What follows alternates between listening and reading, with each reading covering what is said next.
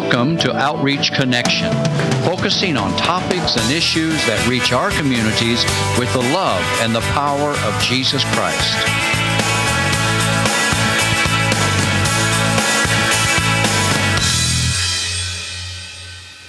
Hello and welcome to Outreach Connection. My name is Sherry McDaniel and thanks so much for tuning into the program today. We have another great program we do each and every week and I want to encourage you to, excuse me, to stay tuned because you're going to enjoy this. But before we get to the mission that we want to talk about today, let's hear from the Word of God, and that's found in 1 John 3:18 that says, "Dear children, let us not love with words and speech, but with actions and in truth." And each and every week we bring that scripture to you and each and every week that that just gets bigger inside of me. Because those are jesus's words. And and did you notice he said dear children jesus isn't talking to himself there. He's talking to us his children and he's saying yes it's important to tell people how much god loves them but we need to also show them how much he loves them. And so today that's what we're going to hear about on the program going and showing and telling the, into the world how much God loves people. And I want you to join with me in welcoming to our program today Bonnie Furniss from Fowler, Illinois, and she's going to share with us about a recent mission trip that she was on. Bonnie, welcome. Thank you for having me. It is so good to have you here. Now, you and your husband have both been on programs before here at WTJR. Yes. Um, John's been on Pastor Speaks. You've been here on Outreach Connection before. But for the folks at home, that, the five that may have missed those, just share with the folks at home a little bit about you and your family family? Um, John and I have been married 16 years, mm-hmm. and not only has he been on Pastor Speaks, but he has a TV show called The Simple Truth yes. here on the station. Mm-hmm. Uh, it's been going a couple of years. Um, he teaches Bible study, and um, we have uh, grandchildren and great grandchildren, just like everybody else, and uh, love them, and just enjoy sharing the word with God Amen. of God. Amen. Isn't aren't those grandbabes something? Yes. They're just wonderful. They're you wonderful. Go right ahead and brag all you want.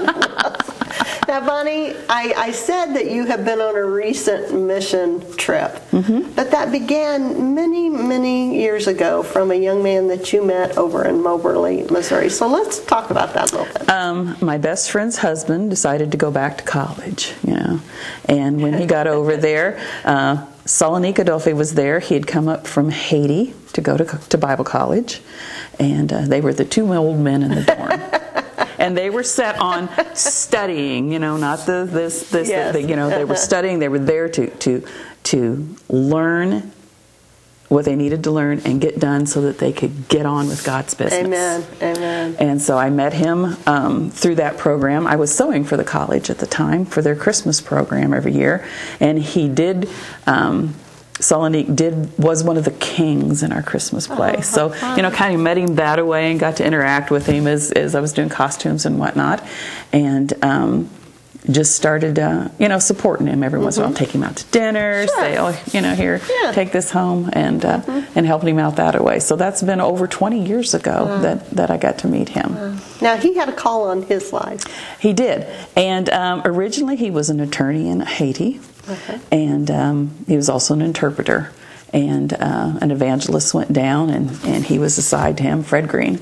And uh, Fred told him, "You've got a call on your life," and he's like, "No, no, I'm going to be an attorney. I got, you know, I've got, I've got plans." and uh, the next year, Fred got down there, and Salonik was assigned to him again. a divine appointment. And Fred's like, "You have a calling on your life." And finally, Salonik said, "Okay, you're right," and um, came up here to go to school to become a minister.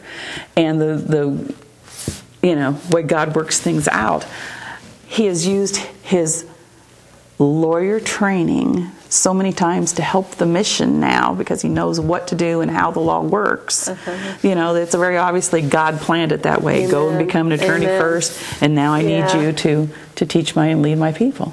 And the mission is called Living Water Christian Mission in Gonaïves, Haiti. In Gonaïves, Haiti. Now, tell us a little bit about the community in Haiti. Um, Haiti is a large port city, um, over 300,000 people. Um, and of course, Haiti is, is an extremely poor country. Mm-hmm. But um, I go down there. I stay at Solonique's house, and uh, they have four churches right now, and they're building a fifth church. Each church has a school because he thinks that, you know, Solonique is not only wanting godly leaders for the future, but educated godly Amen. leaders Amen. to help that country. He, you know, pull them up out of that poverty by education, Mm-hmm. and um, so they're they're working toward that. We have. Um, 800 students in our main school, and we have a total of through all the different schools of over 1,300 students. Oh, Bonnie, how wonderful that So and and the uh, Living Water Schools has one of the highest grade averages on the. They have a national test every year. You have to you have to pass pass Mm-hmm. a government test in order to graduate from high school in order to graduate up, and we have some of the highest scores. Because we have the most dedicated teachers, you know, and, and students that are, are learning to. So there's something Change to the country. Colossians 3 that tells us to do everything is unto the Lord. Yes, ma'am. And you know that is that is bringing God's love and his wisdom Mm-hmm. to people. So, how many trips have you made to Haiti and when did Um, you make your first one?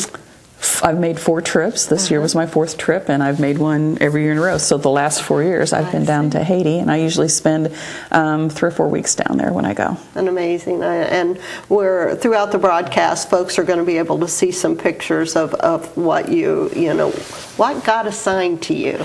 So let's talk about that assignment. Uh, it, it's this program. If it's not, if it's done anything, it's that it's just shown me how much more bigger than that our God is than we think. God can take a hundred people with a a hundred different talents and use them in a hundred different ways, and all for His glory and to share His love. So, what, what, how does, what did God send you with? Well, you know, I met Solonique because I was sewing for the college, Uh-huh. and I love to sew, and it's it's something that that not only do I love to do, but I'm not Good to brag, but I am good at it. It is a gift God has given me. Yes, ma'am. Mm-hmm. Okay, and so I went down on the first trip because uh, Solonique had asked me to be on the board of directors, and I was like, I need to know, I need to have been there. Yes.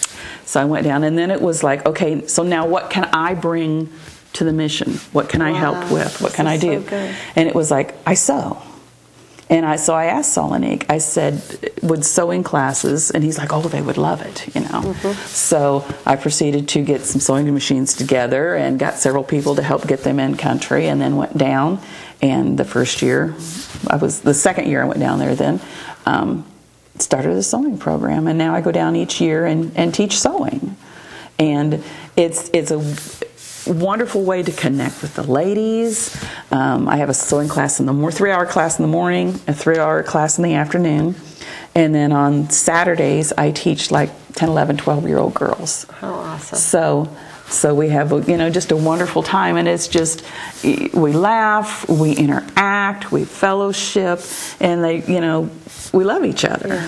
You know, and they're learning something. Yes, Jesus was about relationship, wasn't he? Mm-hmm. That's that's what this whole thing is about. But it was also about sharing that love, and and so through the gift that God had given you, that you're able to share God's love and build relationships. I heard you say that more than Mm-hmm. That once, and that yeah. fellowship to have that fellowship, and that's so important because y- you know you're thinking, okay. Who cares about me? Is the question. You know. yes. Um, the uh, sewing room's on the screen right now, Uh-huh. and that's just them taking the time to learn their machines and me saying. And part of the time, I don't even have an interpreter. You know, Uh. you pin this and this together and say, run it through the machine, and it works. It we, works. we Yes. figure it out. You know, and it's it's it's just. Um, like you said, that personal touch. You know, yeah, I could send stuff down there and never be there, but there's no connection with that. There's no love, mm-hmm. you know, and God wants us to do everything in love that we do. Amen.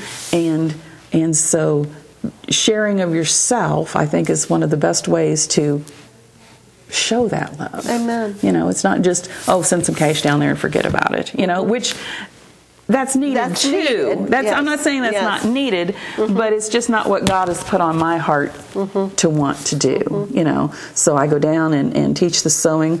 Um, I'm in the process of trying to get a permanent sewing room set up so that we can hire a teacher and have a teacher all year round.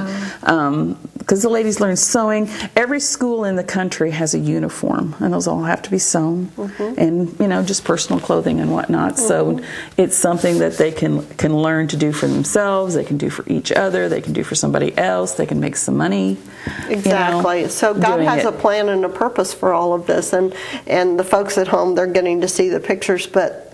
The projects and the smiles on their faces, you know, the girls They feel with so the purses and the dresses. Yes. You know, it's Yeah. a, it's a, a, a confidence building, self esteem building um, experience that that oh I made this. You know, I took took a square of material and now look what I have. You know, and not only that, but a new dress. Yeah. You know, in a country as poor as Haiti is, a brand new dress is a huge deal. I mean, some of them have never had a new dress before, And this- now it's something they've made themselves and they have that pride. and they have that pride in wow, it. what an amazing gift! to be So, so it's them. just you know different layers of building things. Uh, you know their their confidence and the love relationship and just that love showing them Jesus. I'm here because I love Jesus loves you and I love you and and what can we do together? Amen.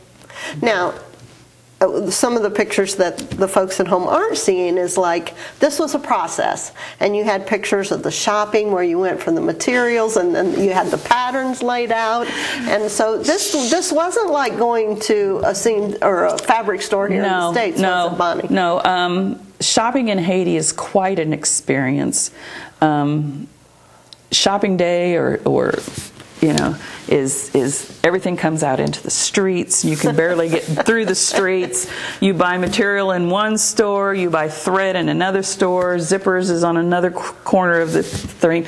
So it's several. It's a several hour process mm-hmm. to be able to, to to do that shopping. Not only getting where you're going, but then maneuvering through everything and finding what you need. So, it like I said, it is a process. The the material there is wonderful material to work with. It is good quality material. They have mm-hmm. good good products. Um, we can't get sewing machines there, so that's why I take mm-hmm. those in. see. Mm-hmm. But um, but yeah, their material is fabulous. It's just but it's just a process that we are not used to doing because we're just used to going to the fabric store and it has everything you Everything need. you want, walk it all. Yep, walk in, walk out with a bag, and you're d- you're done. And uh, that doesn't happen in Haiti. And and you're there for more than just a day. These classes are. You were there for three weeks. I was there for three right. weeks. Classes. Um, I have a three-hour class in the morning. Mm-hmm. I have another three-hour class in the afternoon, and then on Saturdays I have a three-hour Mm-hmm. class with like 10, 11, 12-year-old girls to Mm-hmm. get them used to using the machines. This um, last year they made bags. Mm-hmm. This year they made uh, seam, uh, pillowcases with French Mm-hmm. seams, and then they just played with the machines. It's it's something I want them to get comfortable with that machine, used to doing it, just sewing different little things, you know, of scraps and whatnot, to get used to that machine, so that then they go on and then we sew something. Because they have to learn They have to to. use you have to learn to use a machine. Yes, Yeah, and how yeah. to cut fabric and Uh-huh. how to use the patterns and put it Mm-hmm. all together. Um, and you know, we're like that. We're God took, you know, formed us with His hands, didn't Mm-hmm. He? And then He blew His Spirit and life into us. And so, going and sharing that love is essentially, you know, just doing what God did for us. Yeah. And and we're we're a work in progress every know, day. and and playing with with 14 you know 10 11 12 year olds on a saturday morning it's just fun as far as i'm concerned because i love kids too Yeah. you know How so fun is that? so it was Yeah. fun i mean i love the ladies as well i mean Well, sure. and Um, we got done the final day and uh, they had brought me a gift. And you know i went to hug one of them and i just basically i got mobbed Uh-huh. you know? Just it was just this great big huge like 16 people ball of, of hugging because they all wanted to give me a hug. And they're all proud of when we when they sew whatever. I take a picture of each one of them in their dresses or whatever we are you know making because and then they want to see it they want to see it you know and they're like oh and i'm like you did a good job you know really and that's that that message you can do it and you did a good job And this you is part of Solonique's vision, what God had given him to his, his vision. He wants to educate his people. Uh-huh. You know, he wants to, to train them up. The the we have each one of the churches has a school. Mm-hmm. Um, the main church also has a vocational school. We have a Bible college. We have Wow, a clinic. Um, last September, we opened up a radio station that reaches almost 2 million people. Um, and no matter what the household, whether it's a Christian household or not, if they can find that station on the dial, they'll listen to it. So we are getting Jesus into the Christian homes, but we are also getting Jesus into the non Christian homes yes. to plant that seed Amen. You know, And it- water it till it, Amen. it, it, it grows to ferti- you know, and they, they accept Christ. Now, Bonnie, if you don't mind, let's talk about that a little bit because in some of the places you go, it's not without opposition to bring the love of God, is it? In Haiti? No, no. Haiti is a very large voodoo country, um, and they've claimed that for years as their national religion.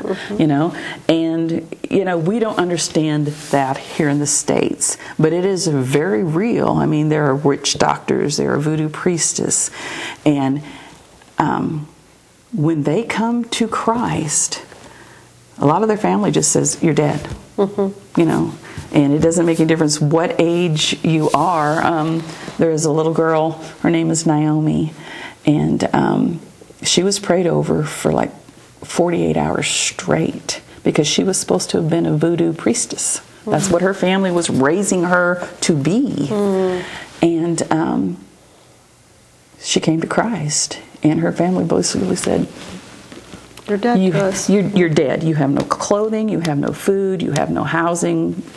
Go away. So then she was taken in by Solonique and his family. She lives there at the house. And um, the uh, gentleman, Lukma, who prayed over her, God told her, You're now her father. You know, he's like 35 years old.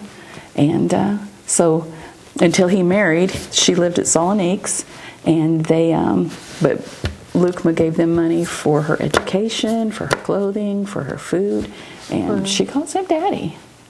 I mean, you know, she was like 14 years old. And what do you, I mean, you know, we come to Christ and we might have friends that we shouldn't kind of associate with because it pulls us back away. Mm-hmm. But we don't lose the way the foreign countries lose. Mm-hmm. I mean, when they decide to follow Christ, it's. Mm-hmm. It can mean their life. It, can mean their very whole life, in some countries. Yes, it yeah. is. You know, when you don't have any food, clothing, or shelter, Yes. it's a, it's a huge. And isn't it sad? We can, we can't hardly get people to come across the street, you know, to come to church. But when people they're hungry for that word, and like this little girl, she she basically uh, gave away the rights to her life and her family to come to know Christ, and they have an appreciation. They do. Um, we have a church up in Marmelade, which is up in the mountains, and people walk for hours. Some of them will walk in the night before and sleep on the ground and go to church, and then they walk home then after church service. Because they're so because they're hungry, for God. They're hungry to know, you know, He loves me, somebody loves me, and they're hungry to learn about Him. And it's not it's not a 45 minute church service. You know, it's a four hour church service. You know, and, and that's normal f- for them. You know. Um, and I was last year when I was down there, you know, of course, going to church, and even when they start to sing a song, you know, like "How Great Thou Art," with all the it's Haitian Creole. When they're singing that, you can't get the words. It's like I know the words to this song, and I was like, Lord, I I want to praise you. I want to worship you.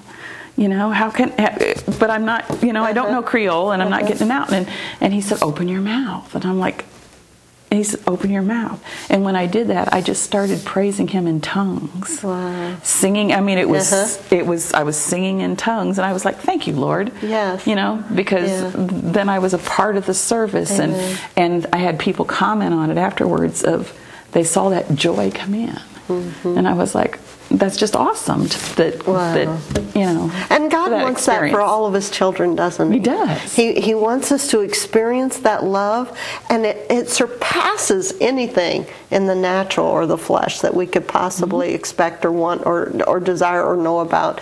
But when we ask, because you just asked. I just asked, Lord, I want to worship you. Yeah, You know, yeah. you know, I want to praise you, and He's like, open your mouth. Yeah. And he tells us that in the book of Psalms, open your mouth and I will fill it, doesn't he? But you know, he needs he needs people that somebody when, when we've shared this before on the program that somebody said, well, you know, Billy Graham wasn't always Billy Graham, and you're like, what? And and you know the implication wasn't always famous, yeah. yeah, that he wasn't always famous, but the, what they meant was he was just simply somebody who kept saying yes mm-hmm. when God called. So God has called you four times to the mission field, and mm-hmm. I'm sure I, I, spoke with John yesterday, and he said that he, he was pretty sure he was going next year. Yes, so. yes, that's that's the game plan. The first year I went alone. The second year we went together. Well, he came down with me and spent two weeks, and he flew home, and I stayed another two weeks. And now these last next two years I went alone, and and the plan is for him to to come down with me next year. So we'll see how long we stay. So let's share with the folks at home how they can find out more about Living Water Christian Mission and how they can get involved. Maybe they feel a call on their life to volunteer, to go, uh, to support, to pray. So how, how can they find that out? Um, www.livingwatermission, mm-hmm. Christian Mission, christianmission.org. Um, and there is, is a place on the website there if they would like to make a donation. We also have a sponsorship program for the kids in the schools. Oh, that's wonderful. Okay, yeah. so that, that helps with um, the tuition so we can pay our teachers mm-hmm. um, and books and papers and uniforms and all of that. Um, for the grade school kids, it's $30 a month, and for the high school kids, it's $50 mm-hmm. a month. Mm-hmm. Um, because, you know, lab mm-hmm. costs and whatnot are higher for the mm-hmm. for the high school mm-hmm. kids. So there's there's that program, so you can get involved, you know, kind of one on one with a child, which is was oh, is a wonderful awesome. thing. I have a little girl down there. Her name is Anne, and uh, she calls me Mama Bonnie when I'm down there, and uh, she's just she's just a beautiful, beautiful little girl. Melts your you know, heart, doesn't it? And and uh, yeah. uh, it's it's just wonderful to have that that connection, you know. And and she she told me before I left this year, she says, you know, you could build a house here. you know, she wants me to stay. You know, so so it's just that that you know we don't speak the same language, but there's a love language there. Amen. You know. Um, so there's you know donations as far as to the mission, and you can donate to the mission for whatever you want, whether it's a building project, whether it's a we have a beans and rice program at the main church or the main school that uh, the kids get a meal every day, and some of them that's the only meal they get. Mm-hmm. So a lot of times during the summer, then we will run a summer program. So instead of VBS like we have here for a week, they'll run it for like two months and they feed those kids every day wow. During that as well, so that For they have months. they have a meal. Oh, yeah, yeah. Two month VBS, yeah. Oh, we would go crazy. Yeah, we would. I, I, was just thinking, oh my goodness, because you know everybody gets excited about VBS. Day one, day two, we're all like woohoo. Day three, we're like.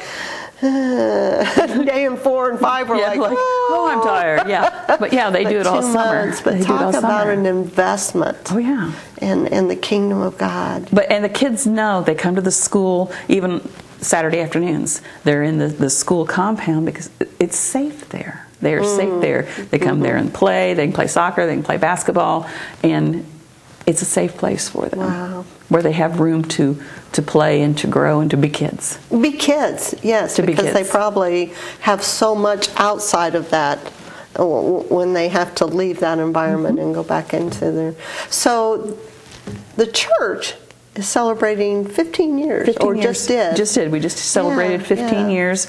We had um, approximately 2,000 people at the service. It was a four-hour service, and when they got done, everyone was fed.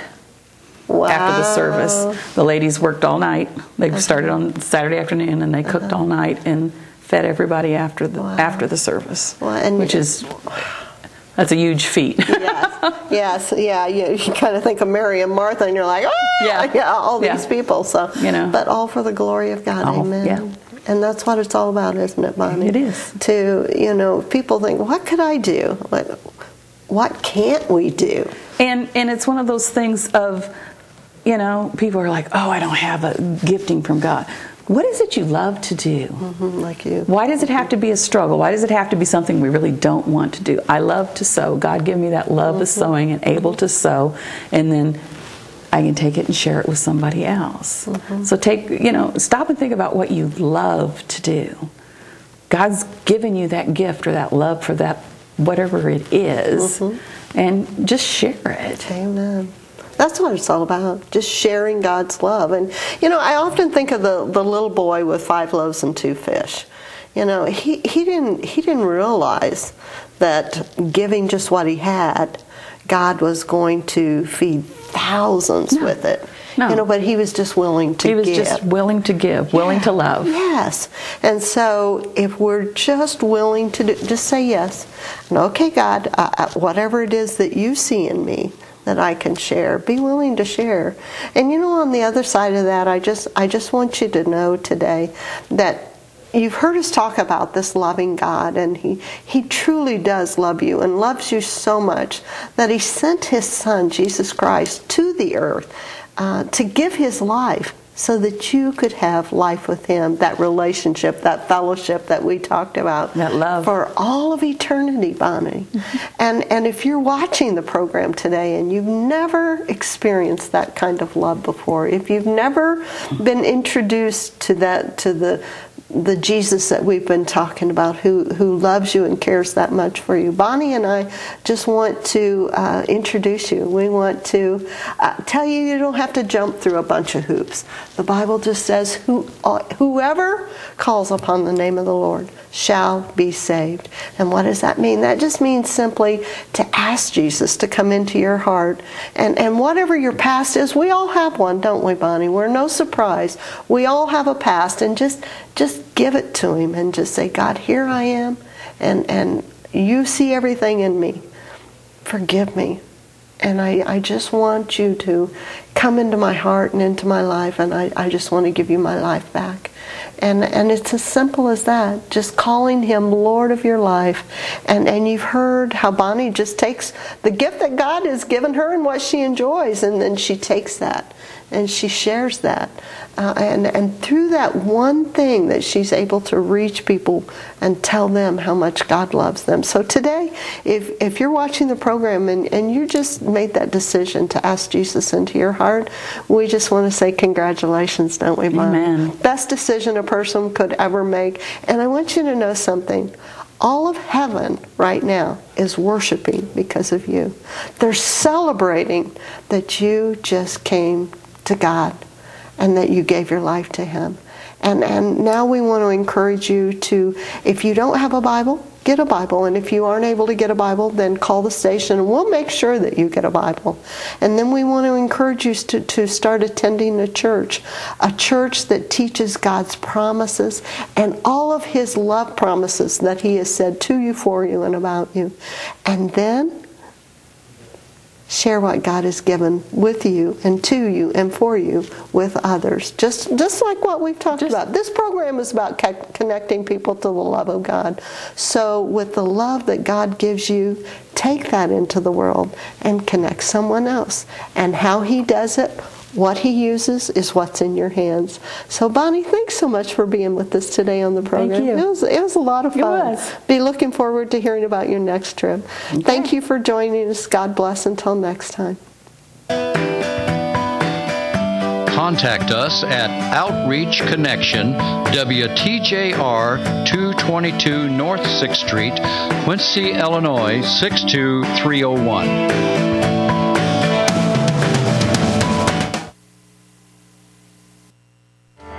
The Bible is unchanging and timeless, and its words are relevant for every generation. Join Dr. David Jeremiah each week on Turning Point as he delivers the unchanging Word of God to an ever changing world. With his sincere, straightforward teaching style, David Jeremiah provides a rich study of Scripture from which you can find spiritual strength, encouragement, and guidance for today's world. Join Dr. Jeremiah every week on Turning Point right here on this station.